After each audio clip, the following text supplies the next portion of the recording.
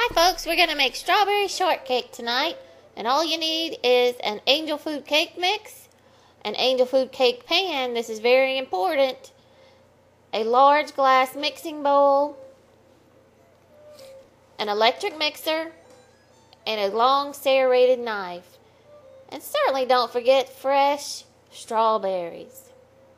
We want to start out by following the package directions.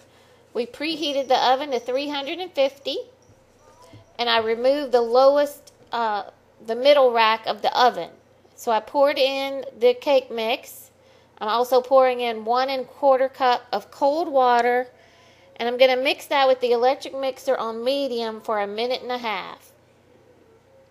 As you can see, it becomes really fluffy and can overflow in the bowl. So you want to make sure you have a good deep bowl. Now we're going to pour it into an ungreased angel food cake pan. And just pour that evenly by rotating the pan. And get all that good batter out with your uh, spatula. Then I spread it around evenly. Even get a bit of shake so it'll settle. Then I'm going to place in the preheated oven. It's on 350. I'm putting it on the lowest rack in the oven. And we're going to bake that for about 40 minutes until golden brown. As you can see, this beautiful golden color. Immediately from removing it from the oven, you want to have a glass bottle. We had an empty um, bottle ready to go here. You just invert the cake by inserting the bottle there and turning it upside down. This will help cool the cake and it takes about an hour, hour and a half.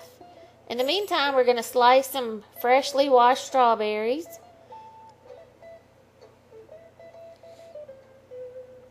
And I placed them in a glass bowl and I have a quarter cup of cane sugar. Just sprinkle that on top. I'm also going to drizzle some um, fresh honey just for a little extra taste. And give that a good stir. We're going to cover this and refrigerate while the cake is cooking. I mean, cooling. When you're ready, just cut around the edge with your long serrated knife and then kind of pull it, the cake, and pull, turn it upside down over your cake plate. Shake it. It's going to come out. Took a second, but it came out. Now, doesn't that look beautiful? With your long serrated knife, gently saw back and forth so that you don't squeeze the cake and smush it. I'm going to place it on a beautiful plate. We have our sliced strawberries that made a little juice.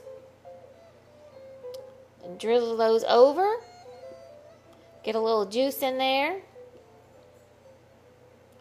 I like to add a little chocolate syrup. This is dark chocolate syrup.